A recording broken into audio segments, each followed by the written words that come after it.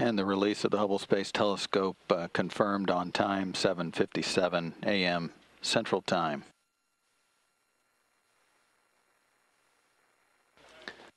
Hubble now uh, back on its own for the final time with a gentle release by one, but carrying the fingerprints of hundreds of thousands.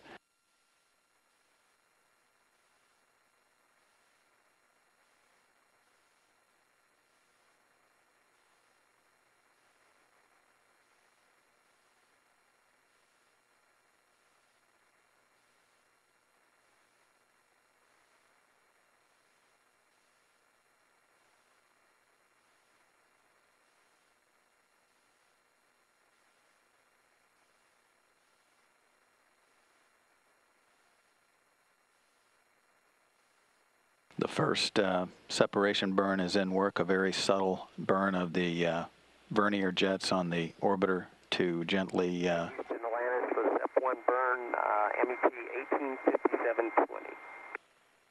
Copy, 185720.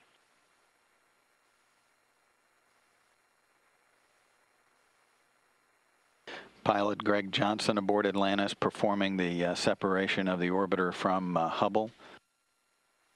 There'll be two separation burns. The first, a very subtle burn of the uh, vernier jets to uh, gently um, push Atlantis away from the telescope after being released from the shuttle's robotic arm. 16 different astronauts performed 23 spacewalks during five servicing visits to Hubble, totaling more than 166 hours, the equivalent to working a full month of 40 hour work weeks.